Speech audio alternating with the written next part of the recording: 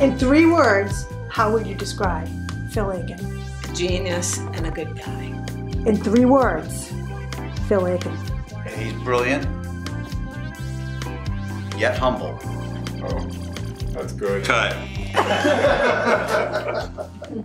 The influences that I hear in Phil's music are everything from uh, the band, Dylan, um, Joe Jackson, jazz, blues,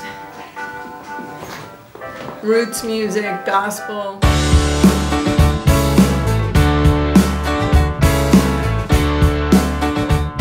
Describe Phil Aiken in three words. Tabasco, duct tape.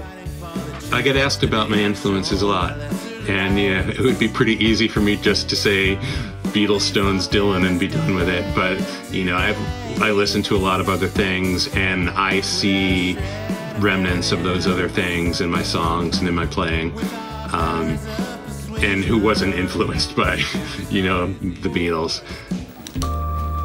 Ed asked me to play this gig, this Martha Hoople gig, and I was like, yeah, sure, I love Martha Hoople. And we played these songs, then Phil was like, oh, you should sing some more songs and play some more songs. So I did, and then I was kind of part of the band. We played this gig at the Lizard Lounge in October of 2019.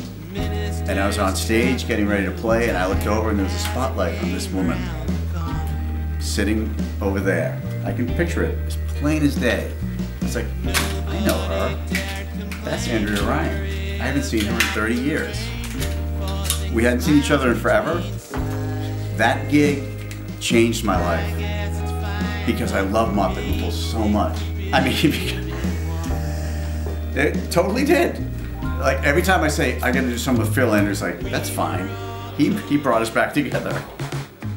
also part of that is uh, I write a lot on piano, and so there is, you know, I would say there is a Carole King influence, not, you know, via Todd Rundgren in terms of having chords over alternate roots, things like that, things that are quite simple and intuitive on the piano that it, it, it's a different thing on guitar, say.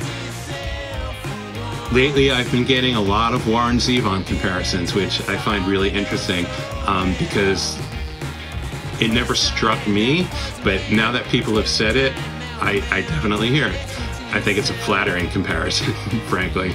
You know, who wouldn't be flattered by that? Well, one thing that might strike people that are familiar with my other work is how concise the album is. Uh, it's eight songs long, as opposed to 38 on my previous release. Um, the songs themselves are not super short, but tightly arranged, except for the very last song on the album, Blessed Lies, which I allowed to go to strange and distant lands. Riches in the world.